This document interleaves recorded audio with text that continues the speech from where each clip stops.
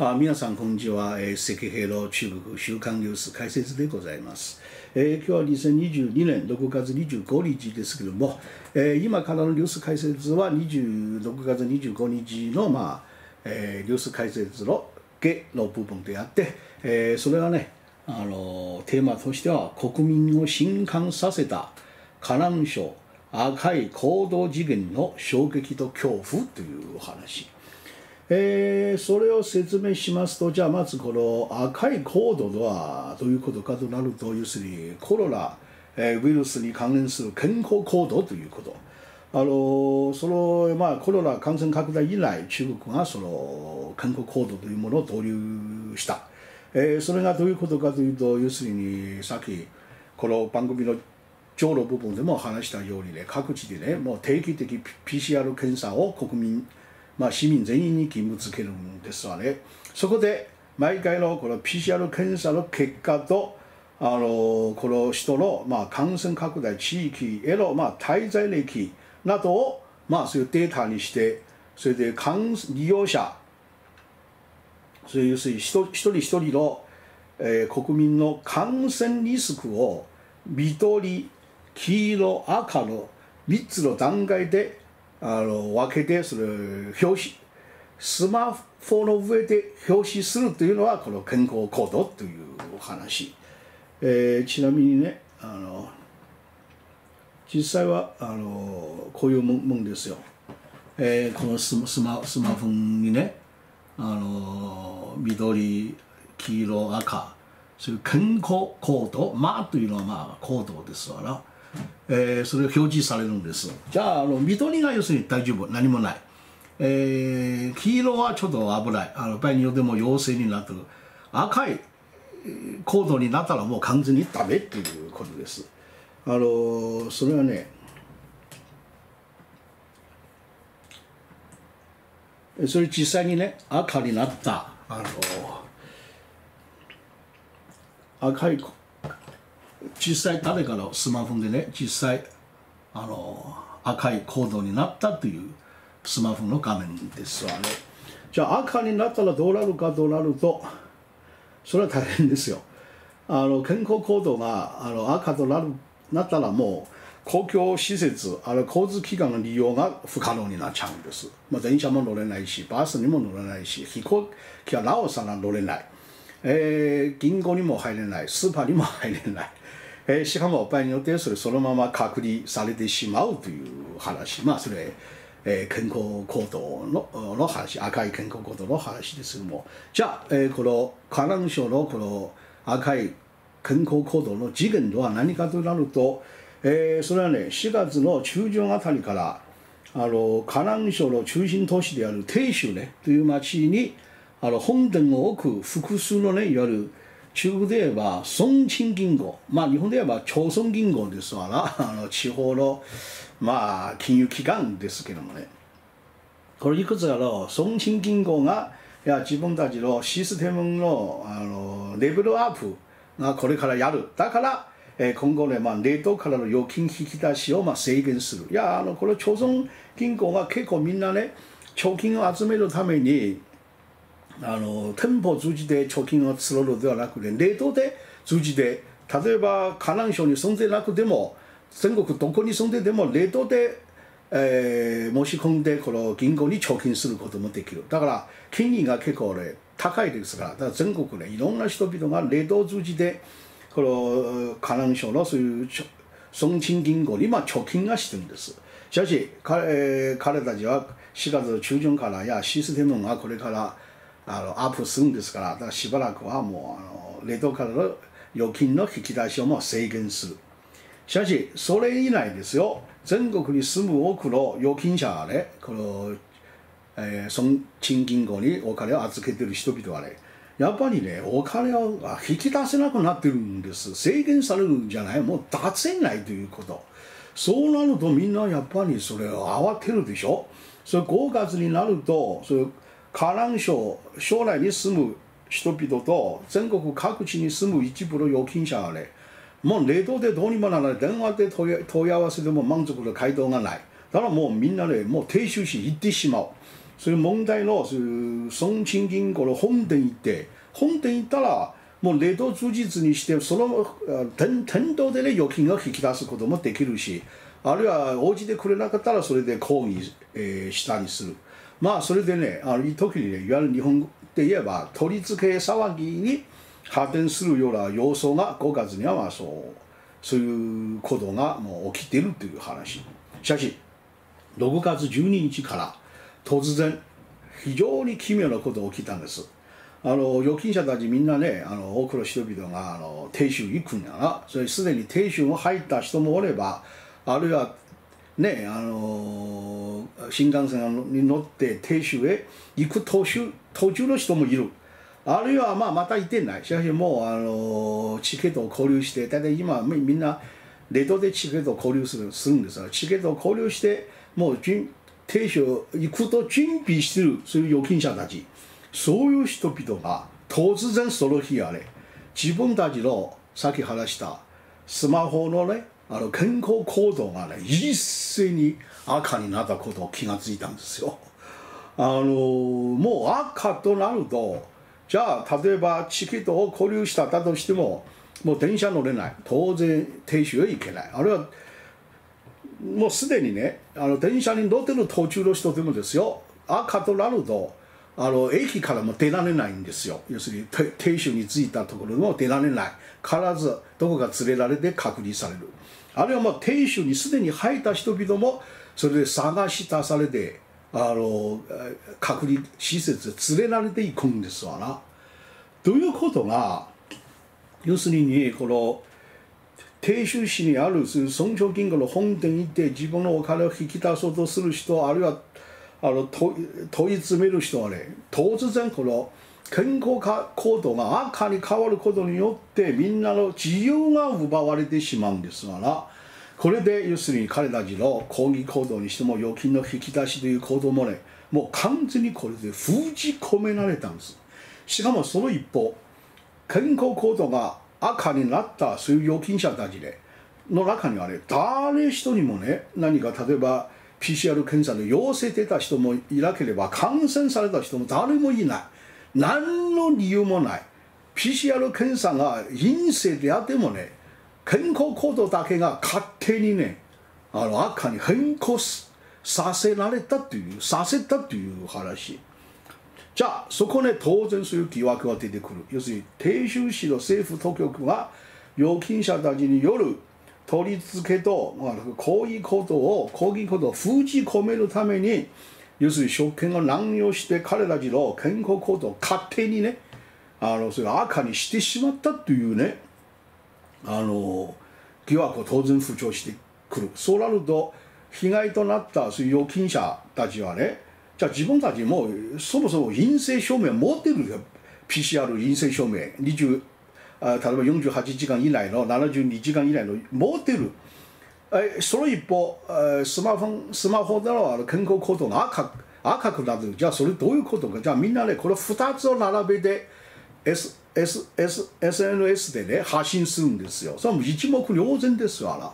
そうなるとあのその問題が暴露されると、まあ、全国のネット上で、ね、もう行き通りとも抗議の嵐が起きるんですよ。やっぱりこれ2つの問題の1つが預金が引き出せなくなることともう1つはね自分の健康行動が何の問題もないように勝手にねあの変変更されたその衝撃が結構大きい。だからみんなあの抗議の嵐を巻き起こって全国でね国民の関心が低い一大事件になった。えー、その後鄭州市の政府当局は最初はね嘘つくんですよ。要するにあれあれはみんなの健康行動赤となったのはあれ健康行動を管理するシステムの難作動によってそういうなミスだ。しかしこのような説明誰もそれ嘘だと分かるでしょ？あれ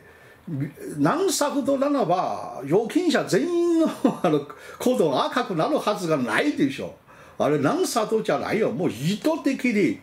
性格的にあのやってるんですからそうでしょ？当然その嘘は誰もあの受け付けない。まあそれで全国のネットでねもう爆発寸前になったんです、えー、今あのそこで6月22日になると、えー、停州の当局がやっとね、えー、認めたんです。要するに関係部門の担当者が勝手にね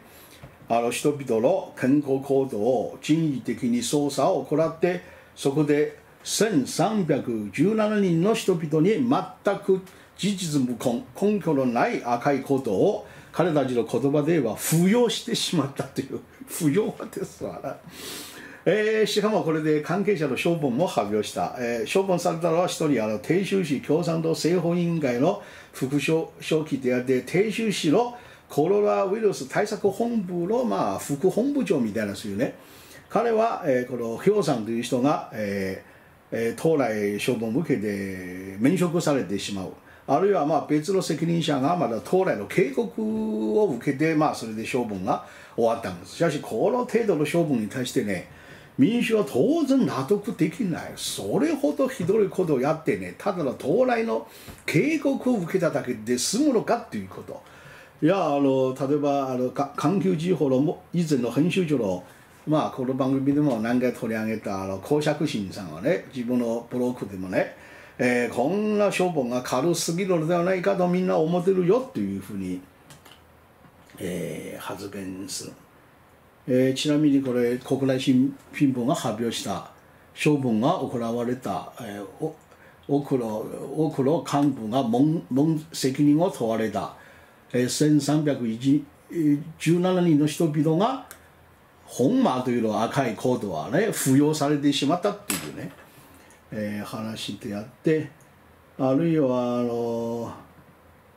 これ公爵人の話出たニュース、まあ、公爵人公衆がこの処分は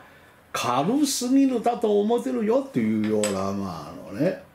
あの話まあみんなねそういうした。えその一方多くの弁護士とか法律の専門家たちはねいやそれはねもう紛れもないやなくそれ犯罪であってもう当来処分で済ませるものではないというまあ結構みんな最近怒ってるんですよこの意見に対して。例えばこの人、まあ、法律家の人ですが彼は自分のブログでねいやこのこの事件はね要するに、えー、みんなの健康行動を家庭にね赤にしたこのね4つの違法的犯罪がの疑いがあってそれ徹底的にねあの追及すべき。それその中で4つのあの犯罪疑惑として彼一番挙げたのは要するに人のあのことを家庭に変えることによって無実の普通の国民の行動の自由が制限する奪ってしまうのはまあそれまさに憲法違反であってまさに犯罪であるというふうにねあの、えー、まあ彼はまあそう思ってそう発信してるんですわね。あるいはまああのこのこの新聞記事はまあ要するに本間赤いコードの疑惑が以前として解決されてない。中国語ではね、律師というのは弁護士はね、弁護士はあのなこの赤いコードはね、見たらあの難罰するということがそれはね違法の疑いがあるというふうにまあみんな要するに法律的責任を今共産党幹部の責任を追及するまあそれで要するに SNS だけではなくて一般のマスコミからの法的責任を追及する声が、えー、上がっている。まあしかし考えてみればこの赤い健康行動のいわゆる強制扶養ねあの健康で全く問題のない人にね赤いコードをつけてしまう、えー、それが当然ねさっきの会社説明したように通り過ぎ騒ぎの発生を恐れてあの預金者たちの動きを封じ込めるものためのものであればじゃあ考えてみればそれを決めたで指示したら当然コロナ対策本部の幹部じゃないでしょ。あのコロナ対策本部の幹部がコロナの問題だけがやるんですからあの預金の取り付け起きるかどうか関係のない話。そういうことを全部統括しているのは当然鄭州市で言えば一番上ですよ。要するに鄭州市政府あるいは鄭州市の共産党委員会のトップがその首謀者であると思われる。まあ要するにあのあのさっき話した何人ぐらいの幹部の、まあ、処分がね単なる日本語で言えば単なるトカゲの尻尾切りに過ぎない。この背後にやっぱり深い闇あるんですよ。要するに鄭州市共産党委員会やったおそらくこのトップやったとだろうと思います。しかしあの問題はねこの事件が明るみに出るとやっぱりさすがの多くの中国国民もびっくりしたのは衝撃を受けたのはどういうことかとなると要するにねこの事件から分かったことが要するにさっきのあの預金者たちと同じように実際は中国国民ね全員はね要するにいつでもどこでも政府の監視下にある。そうでしょ？あの預金者がもうあの低収益のチケットを買っただけでそれはもう政府はもう把握してる。こいつが危ない。こいつは赤赤にしようっていう。あるいはまあ電車乗ったことももうすでに政府が把握してる。こいつ電車乗って停止行くぞ。だから赤にししてしまう。あれ停止に入った人も全部把握されてもう完全に監視される。いつでもどこでも監視されて。しかもですよじゃあ政府当局がその気になればあの国民の行動をねもういちいち全部あの具体的に把握することできるということがねあの失礼。あの僕国民がまあ別に全くわからないじゃないわけでわからないわけでもないけどでもやっぱりこの事件が目の前で起きてしまったらやっぱりそれ時間してしまってやっぱりみんな恐怖感を感じてるんですよ。さらにねあの勝手にね人のあの赤いコードをコードを赤に書いてそれで、えー、停止入りを、えー、止める。あるいはまあ銀行行くことを止める。あるいはそのまま隔離するということがそれはね警察をやってるわけではなくて政府当局がね結局その気に合えば何の法律の根拠もなくあの警察すらね使う必要もなくねもう国民の自由を恣意に制限することもできるんです。もう政府がもう無法分子になってる政府ですよあのもう政府そのものがあの無法勢力になっちゃったなっちゃなっちゃうんですからそこがやっぱり中国民が今更のようにそれを分かったところでも結構正直を受けただからこの徘徊こと事件を通してそれした多くの国民があの衝撃と恐怖を感じていやだからそういうあの疑念の提示たりあのあの徹底的責任追及を求めるしかしおそらくね国民がいくら怒って責任追及を求めていてもですよ。おそらくこの件ね結局、えー、さっき話した何人ぐらい幹部の処処分でねもう完全にね幕引きが図れて、えー、それで意見終わる、えー、それ以降はね現状は何にも変わらない。おそらくね今後ねコロナウイルスの感染拡大が収まった後でもですよ中国政府が引き続きこの健康コードを使うんです。それはそれほど便利なものがないんです。この健康コードによって引き続き国民を完全にね監視し管理下に置くんですから要するに健康コードによって誰々どう動くか全て把握してるからじゃあ誰が何が変な動き要するにコロナと関係のない話ですよ。ないところで例えば反政府的な動きする。あるいは政府が疑うような動きすればすぐあの彼の健康行動を赤にして動きを全部吹き込めてしまうというような。いやそこからねさらに発展していくとですよ。今健康行動でしょ。将来ねそれを味を占めた中国政府ね場合によって今後ねまあ日頃の市場新慎重とかあるいは共産党政権に対する態度を基準にしてそれを分けるんですから共産党を擁護する人々が緑緑のコードにする。反政府的な人間を赤や赤にするとかね。そういう思想健康行動を作ってですよ。国民全員の監視下にまあ置いてしまうということ。まあ要するに映画のあのね1984のねあの世界はもう完全に中国で実現されてまあ中国全国は場合によってこれで史上最大のまあ刑務所とまあ貸してしまうという可能性もないわけでもない。いやですからまあこれはまあ中国はそ今後で習近平政権が続く限りですよ。ますますそういう方向に行ってしまう。問題は今でも中国にね多くの日本人外国人が住んでいますからね。じゃあそういうような監視体制当然中国国民だけの話じゃないんです。外国人もおそらく同じように健康行動を持たせ慣れてるんでしょ。じゃあ外国人もみんなねそういうような監視システムの中に組み込まれ組み込まれてて、まあ、人権とか人間の自由とかそんなもんねああるもんじゃないまあそういう意味ではねまああの中中在の日本人もねまあ早めにまあ帰ってきた方がいいんじゃないかなというのはまああの今日のこの2番目の話のまあ最後のまあ一言でございます。まあ以上、えー、今日はあの解説するニュースが多いです。えー、多いというよりも本数が多いというよりも内容が長いですからただ上下2部に分けて、えー、解説いたしました、えー、ご視聴ありがとうございました。それではまた来週よろしくお願いいたします。